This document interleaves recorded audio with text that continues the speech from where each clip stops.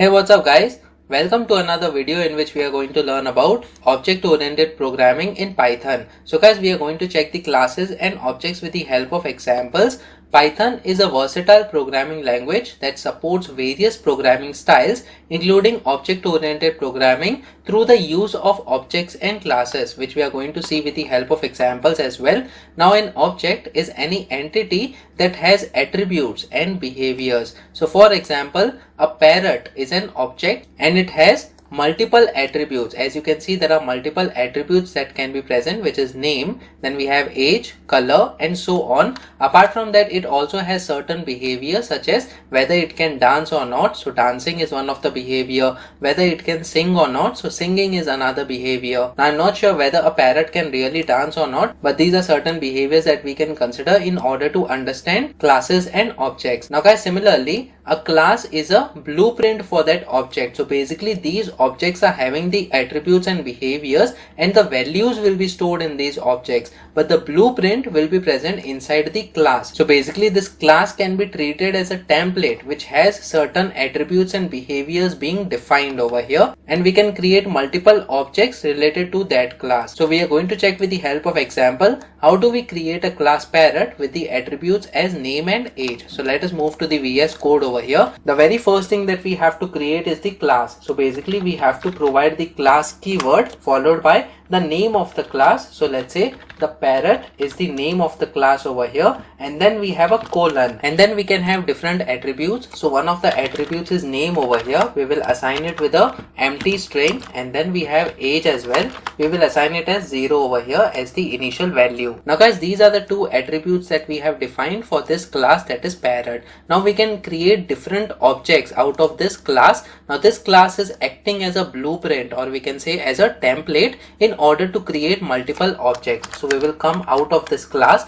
and what we will do is we will create the objects for this class. So let's say we have parrot1 followed by equal to operator and then we can simply provide the name of the class that is parrot followed by the open and close parenthesis. So this is the way that we can initialize an object for this class that is parrot and then we can use this object in order to initialize these attributes that is name and age. So over here what we will do is we will use this parrot1 object followed by dot and as you can see we are getting this name and age being auto suggested by the VS code. That's because we have already defined these attributes inside this blueprint that is class parrot. So over here we are going to provide the name as the name of the parrot1 object. So let's say we provide the name as blue over here and then let's say we also want to provide the age of this parrot object. So again we will provide parrot1 followed by dot and then we have the age attribute. Let's say it is two years old. So we have two as the parrot's age. Now guys let's say we want to create another object with another name and age. So again we will copy these lines of code and paste this over here. What i will do is instead of parrot1 we will say parrot2 because this is another object. So this is the second object that we are creating by using this parrot class. And over here again we will say parrot2 dot name and parrot2 dot age. So let's say the name of the parrot2 is Wu and its age is 5 over here. So 5 years. So guys over here we have created two objects for this class that is parrot. Similarly we can create any number of objects that we want. It's very important to note that while creating the objects we provide this variable name on the left hand side and on the right hand side we provide the name of the class followed by the open and close parenthesis and then we can call the different attributes of that class in order to initialize them. Now guys after these objects are being initialized with their names and age we can simply print them on the console. So what we can do is we can have the print statement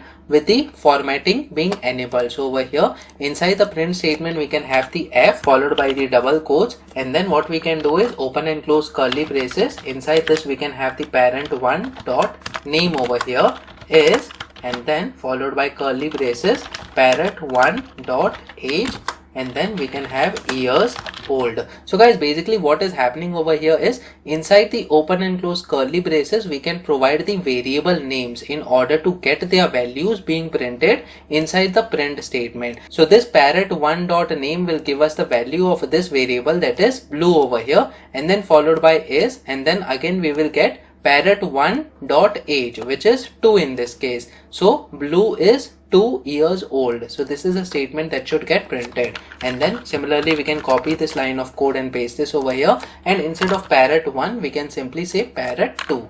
So we have parrot2.name and then parrot2.age. So guys let me just save this file now and try running this code.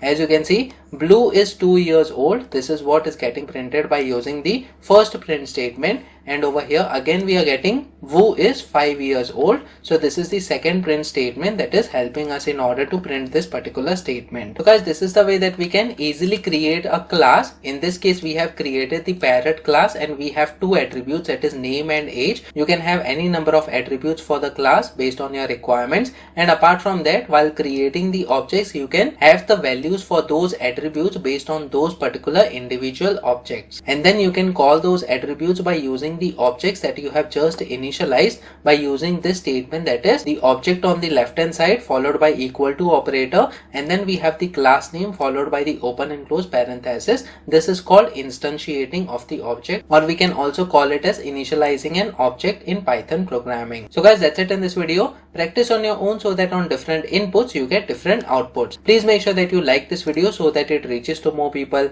and subscribe to the channel so that you get the notifications on upcoming videos as well well. The next video that we are going to talk about is inheritance in Python programming. So stay tuned.